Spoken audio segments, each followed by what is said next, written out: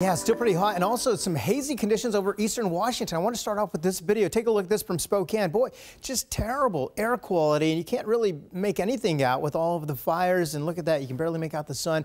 This is going to be the story for them moving forward because of number one, the winds heading that direction, the heat as well, and more fires. Let me get right to what we have going on. High pressure over the Four Corners region has given us all that heat you were just talking about, Joyce. And we're also seeing some lightning strikes again over Oregon and eastern Washington interesting to point out, though, take a look at this. We saw this yesterday. I was looking at this with uh, meteorologist Rebecca Stevenson, and we were looking at in the same spot. There's Mount Rainier.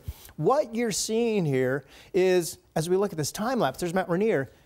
Pyro Cumulus clouds. Pyrocumulus clouds form right over fires. Now, fires produce a lot of heat. They also have smoke. Smoke goes up into the air. You've got a little bit of moisture. You've got a cloud, and boom, you've got this going on. Also producing some lightning and perhaps some rain. Also some gusty winds, though.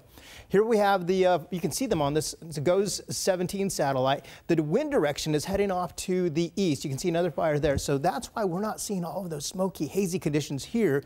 The wind is blowing to the east. It is bone dry out there as well. Look at the relative humidity, 15 to 20 percent or so. On the western side of the Cascades, of course, not all that bad, 41 to 73 percent. Of course, we had the marine layer this morning. That helped us out as well, cool us off.